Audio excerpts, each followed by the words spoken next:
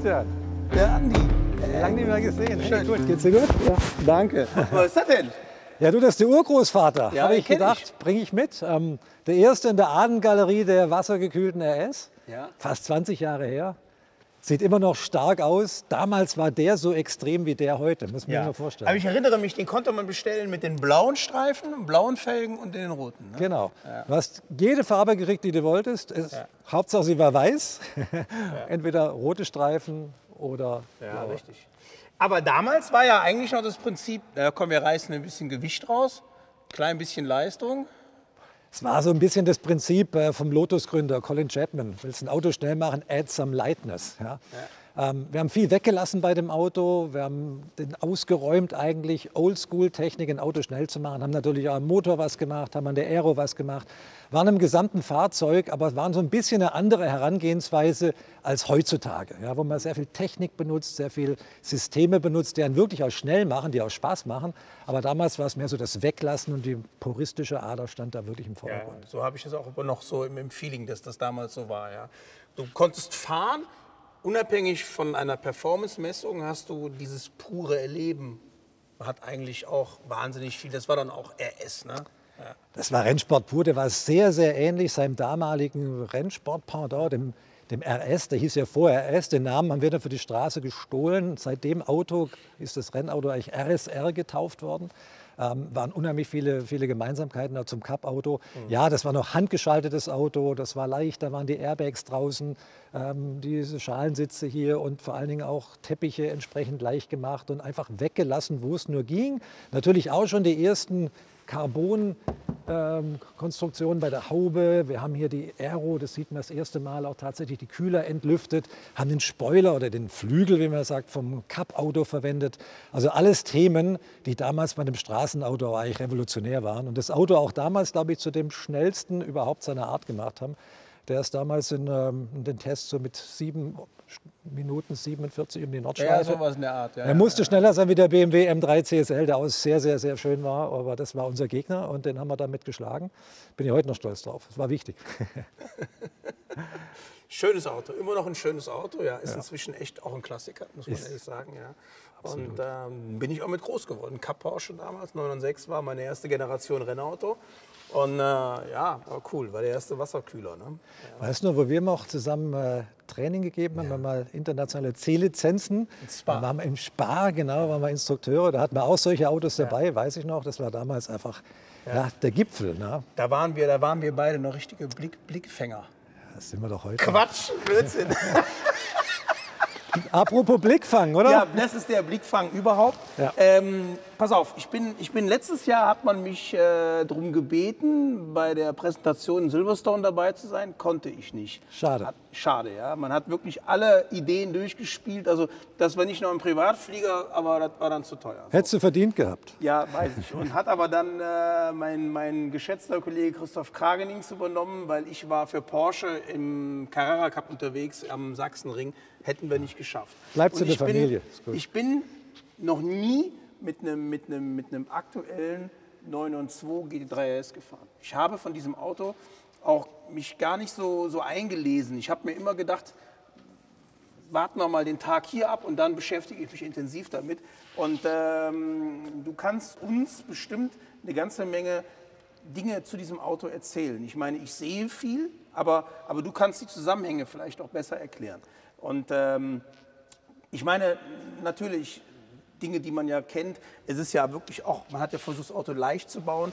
Ja, es ist ja alles Carbon, was wir hier erleben. Ne? Es ist ja bis hin zur Türe, Dach, nur die Seitenwände sind, glaube ich, noch das Stahl. Ja? Also sämtliche Außenhautteile, die man hier sehen kann, sind besonders leicht. Also gerade die Kotflügel, die Fronthaube, das Dach, selbst die Türen. Und das ist eine Innovation. Das gibt es noch gar nicht bei einem straßenzugelassenen Auto, meiner Meinung nach, dass die Türen auf Vollcarbon sind. Ja.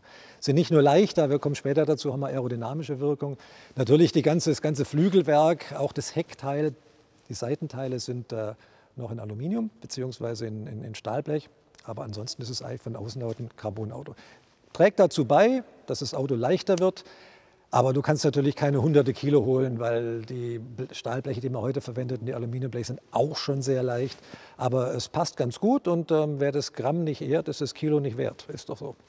Das ist in der Tat, das, das kann sich ja der Normalfahrer gar nicht vorstellen. Ich habe das immer ganz toll erlebt, nicht nur im Motorsport, dass man sagt, du kriegst jetzt Balance of Performance 10 Kilo rein.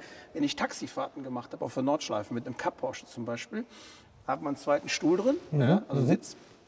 Und wenn dann, sagen wir mal, so ein, so ein junges Häschen eingestiegen ist, ne? Dann warst du schneller. Dann war, dann, war das, dann war das echt easy. Da konntest das liegt an der Motivation, so, die dann höher war. Genau, aber ist dann irgendwie so ein, so ein, so ein, so ein Mordskerl eingestiegen, der so 100 plus ja. gewogen hat, dann ging gar nichts ja. mehr. Es, war, es, hat kein Bremspunkt mehr gepasst, Kurvenspeeds, es war alles träge und zäh. Und, und wenn dann wieder danach irgend so ein, so ein, ne, so ein dynamisches, dann war das wieder ein ganz anderes Fahren. Aber Rundenzeiten ist ja nur ein Thema. Ich meine, du merkst ja schon, wenn ein Auto leicht ist, wenn du vom Parkplatz losrollst, wenn das agil ist, die Bewegungen, die das Auto vom Asphalt wiedergibt, da merkst du schon genau, ah, leichtes Auto oder behäbiges Auto. Und deswegen ist Gewicht auch beim normalen Rumfahren, auch wenn du nur zum Spaß irgendwo bist, für mich zum Beispiel wahnsinnig wichtig. Und deswegen muss man gucken, dass das Gewicht rauskommt aus den Autos. Ich bin dir so dankbar, dass du das so erwähnst, weil ich bei, bei YouTube, wenn wir unsere kurzen Beiträge da äh, präsentieren, immer drunter, ja, das Gewicht, ich fahre doch langsam, dann merke ich das ja nicht. Ja. Du hast recht, man merkte, ja, meine Kreidler Florett früher, die hat Spaß, die hatte nur 5 PS, aber das war, war geil. Das Ding hat 65 Kilo gewogen oder so. Da ja. konntest, das Ding konntest du in die Kurven werfen, ja. Und so ist es ja eigentlich auch. Und das ist auch beim Langsamfahren schon der Fall. Da gebe ich dir 100 Prozent Absolut ne? wichtig. Ne? Aber jetzt kommen wir mal zu einem Thema, was mir ja sehr wichtig wäre. Langsam fahren. Äh, wir brauchen bei dem Auto hier auch teilweise eine gewisse Geschwindigkeit, um manche Dinge besser zu spüren oder auch auf der Uhr erleben zu können. Wir haben den RS. Ein RS ist eigentlich ein Auto, für die Rundstrecke, für die Jungs, die am Wochenende Trackdays machen, die auf die Nordschleife gehen, guck mal abends beim Publikumsverkehr, wie viel GT3s da rumfahren. Ja. Dafür ist das Auto gemacht. Das ist jetzt nicht unbedingt, um nur am Sonntag irgendwo über die Wiesen zu fahren, kann man auch. Das Ding muss schnell sein. Schnell heißt, wir fahren auch schnell. Wir müssen gucken, dass wir Performance holen. Wir wollten mit dem Auto natürlich neue Maßstäbe setzen. Das heißt, ein sehr, sehr gutes Auto, der 991 2RS, sollte noch schneller werden. Am Motor konnten wir jetzt so furchtbar viel nicht machen. Das hat auch gesetzgeberische Gründe. Ja, wir sind außer mit 4 Liter Hubraum schon bei fast 130 PS Liter Leistung. Das ist wahnsinnig viel. Wir haben keine Turbos, wir wollen auch keine, weil die sind auch wieder schwer. Wir mögen einfach den Saugmotor in diesen Autos. Also mussten wir am Gesamtfahrzeug die Performance holen. Und auf der Rundstrecke schneller zu sein, das weißt du besser wie ich, musst du vor allen Dingen in den Kurven schnell sein. Und dieses Auto ist so, wie es hier steht, in den Kurven mit straßenzugelassenen Reifen teilweise schneller wie ein Cup GT3 auf Slicks. Und das liegt an der Aero. Das ganze Auto ordnet sich eigentlich dem Prinzip Aerodynamik unter, damit wir in den Kurven schnell fahren können. Es fängt schon im Vorderwagen an. Man sieht es nicht auf den ersten Blick, aber wir haben wie im Rennauto, wie im R oder RSR, hier nur einen zentralen Mittelkühler. Leider haben wir keinen Kofferraum mehr deswegen, aber den haben wir geopfert. Das müsste jetzt eigentlich hinter den Sitzen stattfinden. Wir haben einen riesen Kühler hier drin. Warum haben wir das gemacht? Beim Vorläufer hatten wir drei Kühler. Da hatten wir hier einen Kühler seitlich, auf der anderen Seite und in der Mitte einen kleineren. So, jetzt haben wir nur noch einen großen in der Mitte. Warum haben wir das gemacht? Um den Platz, den wir hier durch den Kühler versperren, durch ein Aeromodul zu ersetzen, das elektromechanisch angesteuert eine Klappenbewegung ausführt, die synchron geht mit der Klappenbewegung von dem Spaltflügel hinten, um hier möglichst viel Downforce zu machen. Wir wollten Abtrieb in das Auto reinkriegen. Ja. Die ganze Strömung hier vorne ist darauf ausgelegt, dass wir hier diesen elektromechanischen Diffusor, der vom Computer betätigt wird, kann man aber auch selber überregeln, dass hier entsprechend die Luft eingeströmt wird.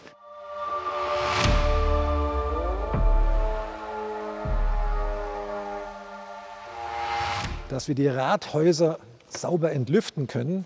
Du siehst hier diese riesengroßen Entlüftungen, die kennen wir schon von dem Vormodell.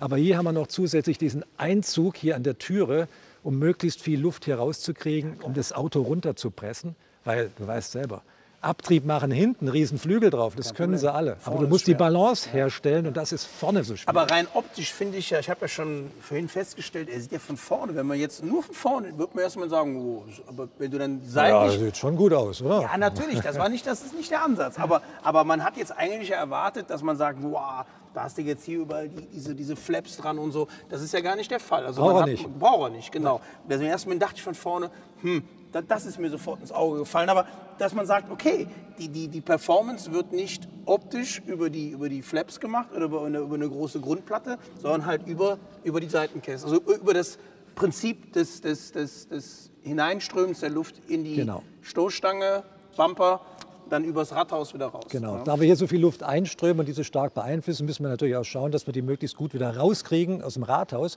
Weil wenn du hier ein Luftkissen drin kriegst, weißt du selber, dann hebst du das Auto hoch und hast Ja. du Auftrieb. Also muss die Luft hier wieder weg. Und Dafür sind ja diese Dafür sind die da, da ne? und Ja. natürlich auch hier, ganz wichtig, der Einzug an der Tür. Und die Tür als solche ist die erste Carbontür, die es so gibt. Ja. Wir haben die deswegen aus Carbon gemacht, nicht nur um sie leicht zu machen, das war eigentlich nur der zweite Grund, das war das Nebenprodukt, sondern um hier diesen Einzug schaffen zu können, weil der normale Verlauf der Tür, der Aluminiumtür aus dem 911, der würde hier verlaufen, denn da könnten wir hier nicht entlüften. Also wir brauchten hier eine andere Form. Ich finde auch optisch unheimlich, unheimlich markant. Sieht, wunderschön. steht im Auto sehr, sehr gut. Ja,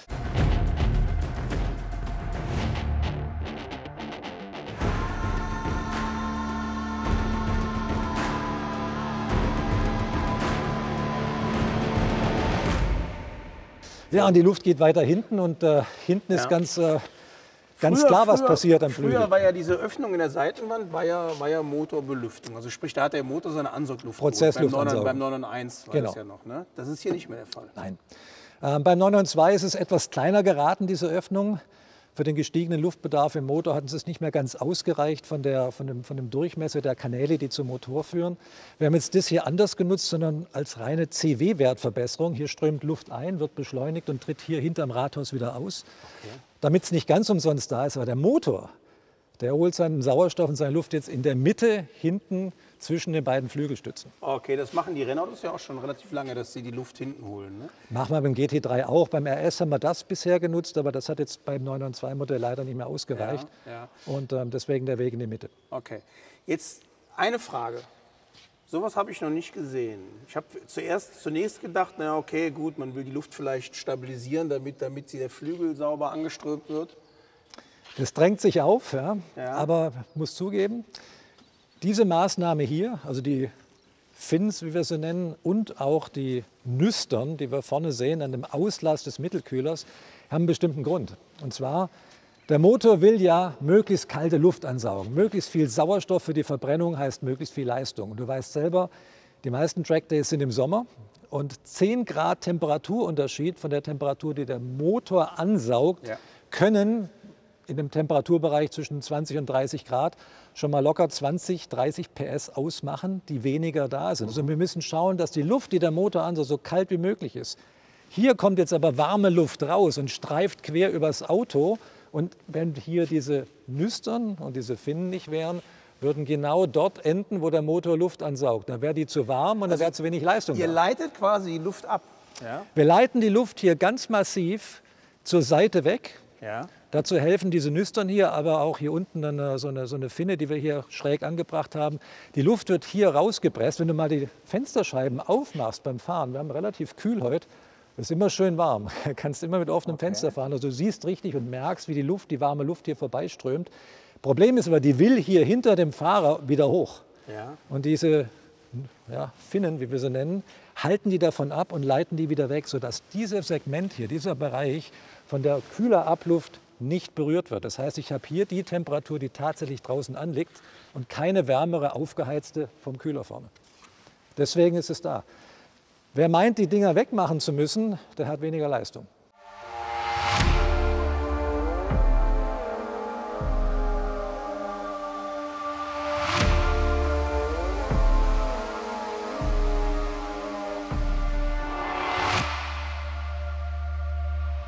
Ich bin froh, dass du da bist, dass man wirklich mal so diese Zusammenhänge aus, von, aus deinem Munde hört, ja, diese, diese, diese Ideen und auch die Probleme, die entstehen können und dass das die Problemlösungen sind. Und dann wird einem auch viel mehr bewusst, wie komplex dieses Zusammenspiel ist aus, aus diesen einzelnen äh, Parametern.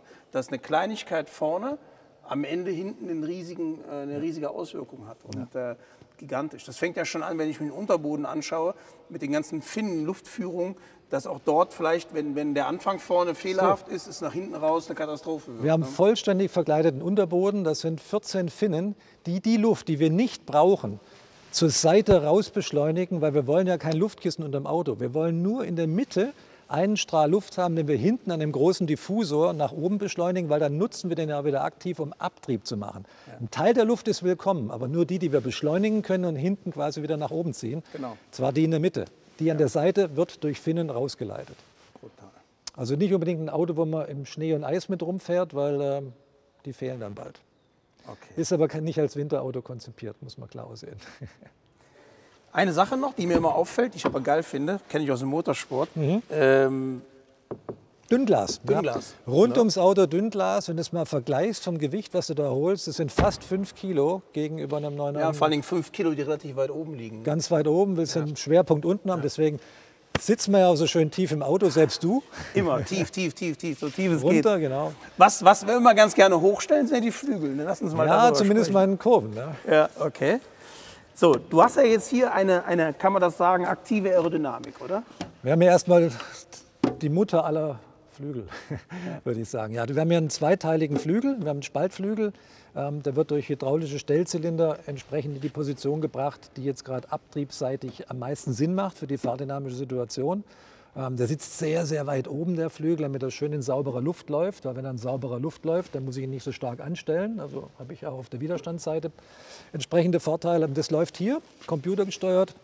Ähm, die Hydraulikleitungen sind in diesen, in diesen äh, übrigens aus Carbon. Ah, ich hatte, glaub ich, Das sind- elektrisch sind gesagt. Das- Carbon, das sind- ja. das sind Das ist hydraulisch. Ja. Mhm. Vorne sind sie elektrisch, elektromechanisch, die äh, Flügel, die versteckten. Und äh, hinten ist es äh, hydraulisch. Hier sind Hydraulikaktuatoren drin und hier die, die Leitungen. Und äh, ja, und dieses Ding hier kann verstellt werden und zwar von der obersten in die unterste Position in einer Drittelsekunde. Es geht recht flott.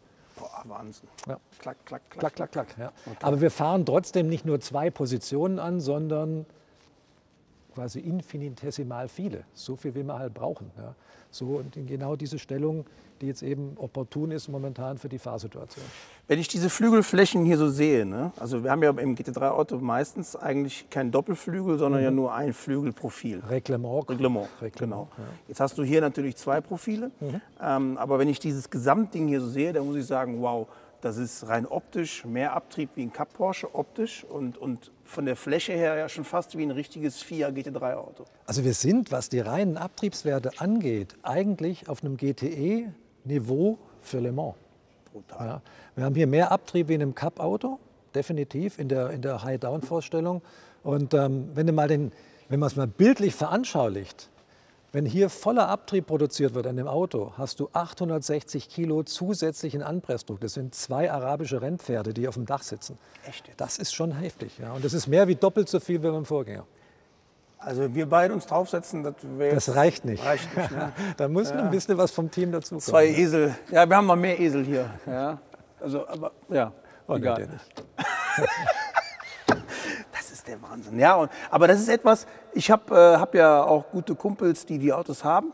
Und, äh, und dann habe ich gesagt, wie fährt sich das denn? Da haben die dann gesagt, ah, wir müssen uns erstmal dran gewöhnen. Dieses Aero- Aero-Thema ist ein ganz anderes, ne? wie jetzt ein Reifen oder ein mechanischer Grip. Ne? Du musst dich also ranarbeiten auch, oder? Du glaubst nicht, wie schnell du einlenken kannst mit dem Auto. Du musst dich wirklich erst dahin arbeiten. Aber wenn du mal die Nordschleifenrunden anguckst, unsere schnellen Runden, die ja auch sag mal, von den Fans äh, schon äh, wahrscheinlich alle gesehen wurden auf YouTube und so weiter. Das Auto ist in vielen Kurven bis zu 30 km/h fast schneller wie ein GT3. Und das Auto ist auch in Hochgeschwindigkeitskurven schneller auf einigen Strecken in den Kurven wie ein aktuelles Cup-Auto auf Slicks. Und das muss man sich einfach mal vorstellen, was das bedeutet für ein straßenzugelassenes Auto. aber ist das nicht auch eine Wahnsinnsbelastung für die Reifen? Natürlich, aber die Reifen ähm, sind natürlich speziell für dieses Auto vom weißen Blatt Papier an entwickelt mit unseren Partnern und ähm, die halten es schon aus. Dafür sind die gebaut. Ja, die müssen ja dann von der Tragfähigkeit, du musst ja echt was können. Natürlich, klar. Und das sind natürlich auch wieder Themen, die Gewicht ins Auto bringen, weil du willst ja einen stabilen Reifen. Dafür haben wir Magnesiumfelgen beim Weissach-Paket und man versucht das wieder zu kompensieren, leichte Bremsen und Wie so viel weiter. Kilo ist, ist der Satz Felgen leichter? Ähm, wenn du es vergleichst mit einem Aluminiumsatz, ja, sind es äh, über 10 Kilo.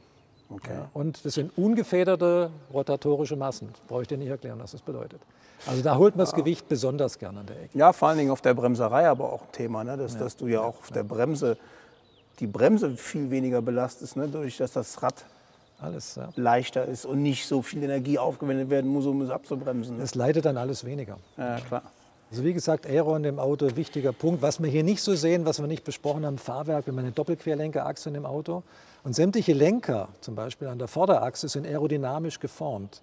Das heißt, wir machen alleine über die Form der Lenker, der Doppelquerlenkerachse vorne, 40 Kilo zusätzlichen Abtrieb, äh, die direkt am Rohbau angreifen, nämlich direkt dort, wo es am meisten bringt. Downforce im Vorderwagen war hier die Challenge, weil wie gesagt, hinten können wir es eigentlich einstellen, wie wir es wollen, aber das Auto muss immer in Balance bleiben.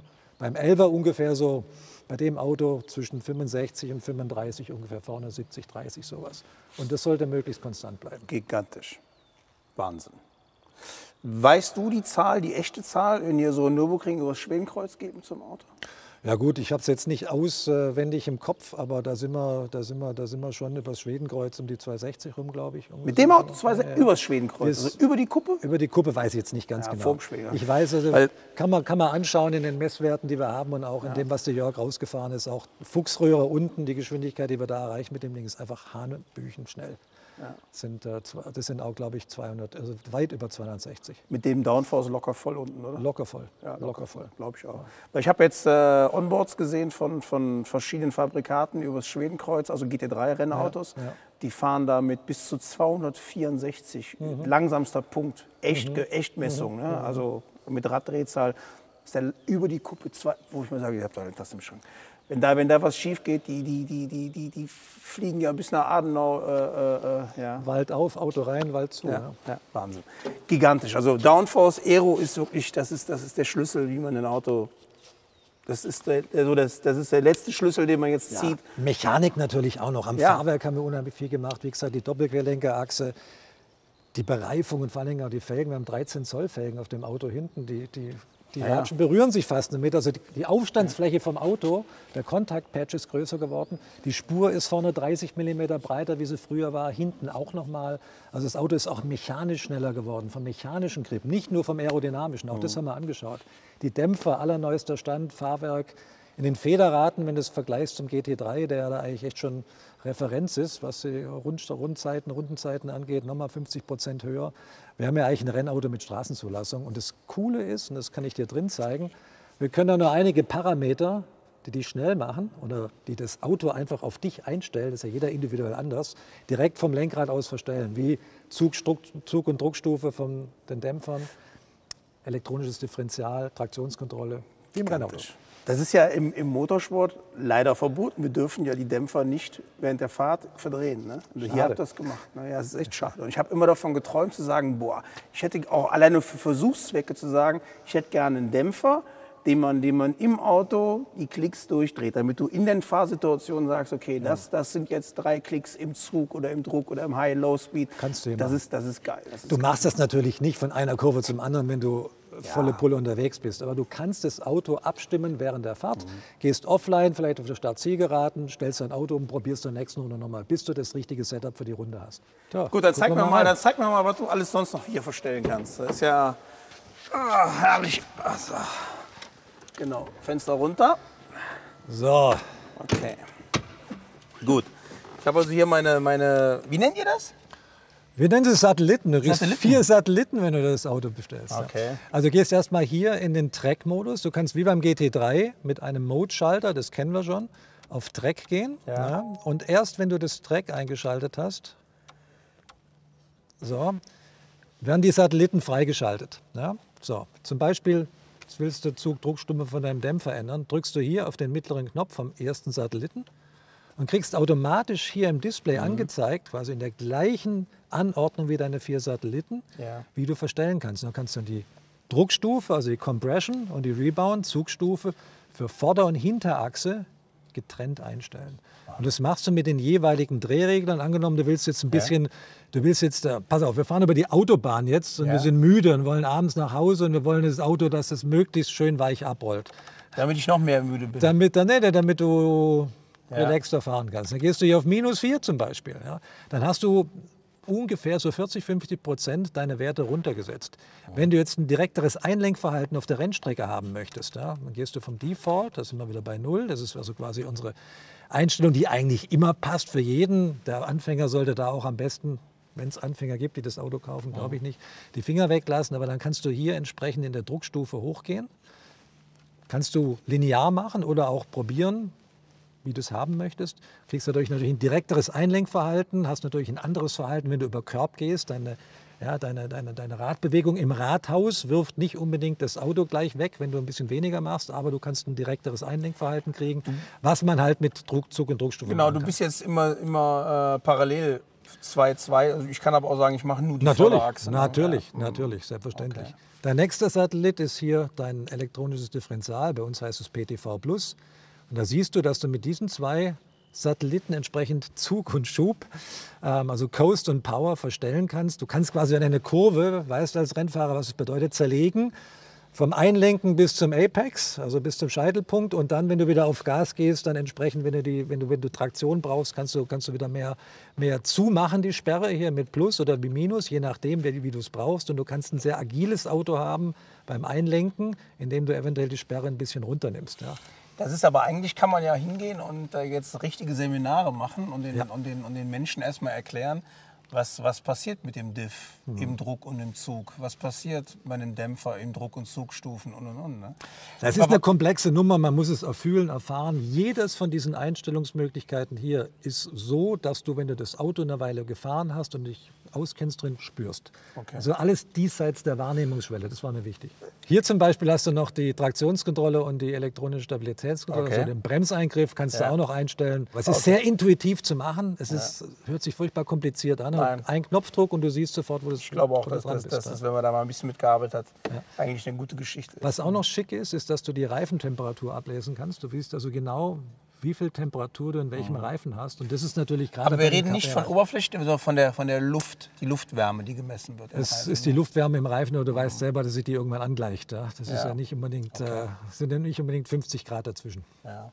Aber ist ja für die, für die Trackday-Fahrer ein ganz wichtiges Tool, so nennt man das ja heute, ne? ein Tool, dass man schon so einen Überblick hat, wo ist mein Luftdruck. Ja, klar, ist ja auch kritisch und ja, aber auch dann die Temperatur parallel zu sehen. Also ich meine, wenn ich jetzt äh, keine Ahnung 15 Grad Luft im Reifen, Lufttemperatur habe und habe aber schon 1,9 an Luftdruck, dann weiß ich, okay, der schießt mir gleich weg auf Genau. 2,4 oder 2,5. Dann habe ich schon eine Idee, auch was ich vielleicht an, an, an, an Luft Und du weißt da ungefähr, wo dein Temperaturfenster ist. Gerade wenn du so einen Cup R-Reifen fährst, der mag Ja. halt ein bisschen Temperatur. Auch der Cup 2, der serienmäßig drauf ist, der sollte eigentlich auch sag mal, seine 20, 25 Grad haben, bevor du mal richtig eine Kurve angehst. Und das kannst du ganz schön einstellen, beziehungsweise kannst dein Fahrverhalten darauf einstellen, wenn du diese Anzeige benutzt. Ich tue es selbst beim normalen Betrieb draußen auf der Straße. Mir bringt es persönlich sehr viel, finde ich gut. Boah, geil. Ja, was ich halt immer, immer, da bin ich nachher echt gespannt, wenn wir ein bisschen mehr fahren. Es ist ja bei euch nicht, äh, es ist ja alles entwickelt und auch oft schon sehr nah der Perfektion entwickelt und nicht ne, einfach so mal reingeworfen. Aber bei uns macht die Perfektion, weil Perfektion ist ja oft langweilig. Wir zwei wissen das. Ja. Perfektion Ah, nee, darf nee. auch Spaß machen. Ja. Genau, Gerade es- hier es funktioniert geil. Muss und das es ist, funktionieren. Ist es, ja. Es liegt aber auch daran, ich meine, ich kenne dich, ich kenne ja noch mehr Typen, die bei euch da arbeiten und äh, alles völlig emotionslose Typen, ja. die gerade ihr Studium beendet haben. zum und, Lachen im äh, Keller. zum Lachen den Keller gehen. Ne? Nein, ich glaube, der, der, der Schlüssel ist halt auch immer, dass man, dass man, dann wirst du, hast du ja auch ein Team Menschen um dich herum, die autoaffin sind, die geil sind aufs Autofahren, die das leben, das Thema.